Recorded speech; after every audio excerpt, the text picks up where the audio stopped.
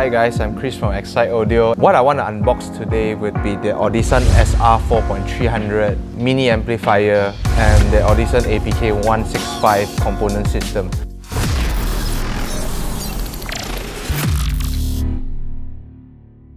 Let's start with the amplifier. So why I want to start with the amplifier is because it gets me excited. This SR 4300 will only be available via Xcite Audio. In the Malaysian market, only we have access to such a nice cute amplifier that is so small but so powerful. A Burmester system rates at 590 watts in a Mercedes-Benz. This amplifier, 4 channel only, 520 watt. You see how powerful is this? Now I'm gonna unbox and I'm gonna show you how small is this amplifier.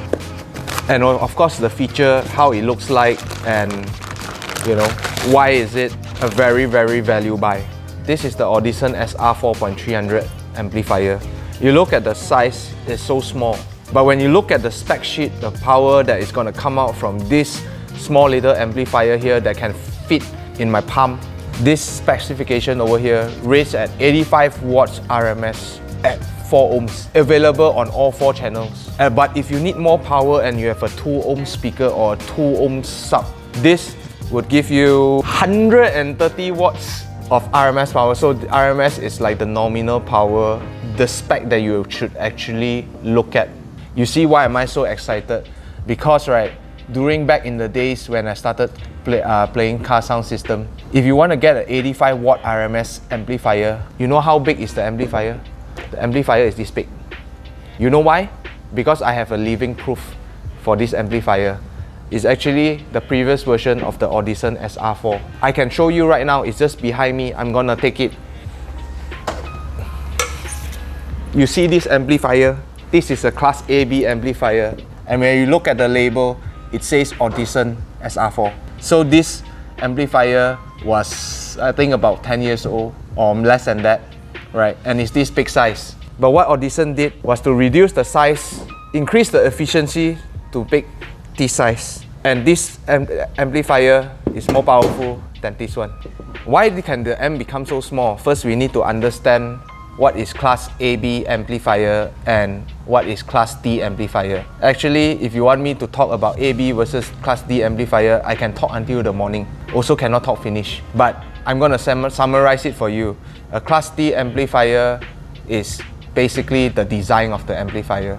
So class D has usually uh, been used to play subwoofers. They are monoblocks. Some people say that the sound from the class AB amplifier sounds better than class D. But to be honest, when we put it, put it to, to, to our ears, we actually can't tell much of the difference.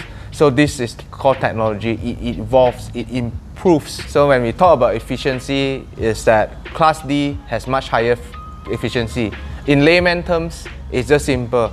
100% of power comes into the amplifier. The Class D amplifier with ADT technology will output 85% of the power. So if it's 100 watts come in, it will give out 85 watts. But during back in the days when we talk about class AB amplifier, I also wouldn't go down to class A because those are very horrible, very big amplifier, very hot. So compare class AB and class D. Class AB power come in 100, go out only 65. Class D come in power 100, go out maybe 85. But Audison is also another very good technology driven, innovative company. That's why they created this Class D amplifier and add in their own technology called the ADT. It's called the Audison Class D technology. I will tell you this will exceed your expectation because this company is an Italian company just like Ferrari. You like Ferrari, I also like Ferrari. I like Audison, you also should like Audison. You see all this line over here? This is actually made to dissipate heat. Last time amplifier got fan inside, got sound woo woo woo woo, and then come out the come out the, the clarity not so nice because got too much component inside.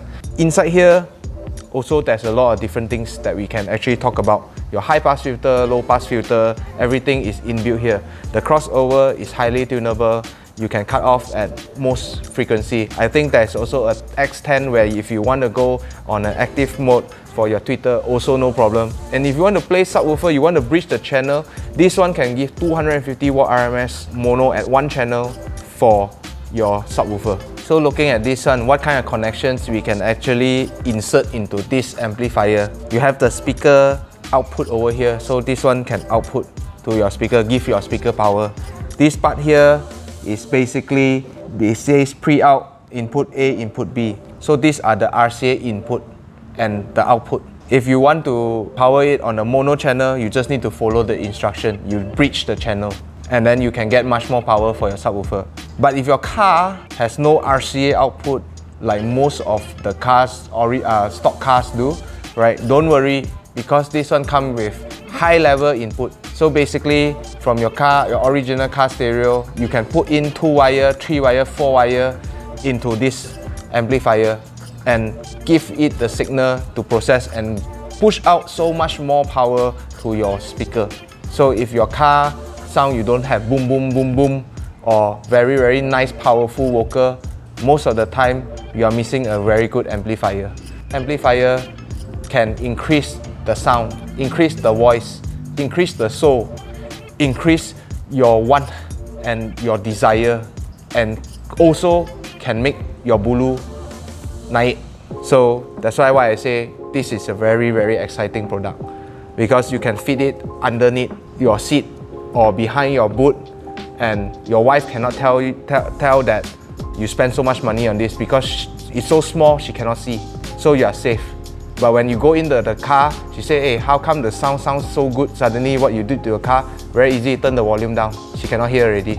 When she get out from the car then that's where you perform. You turn up the volume.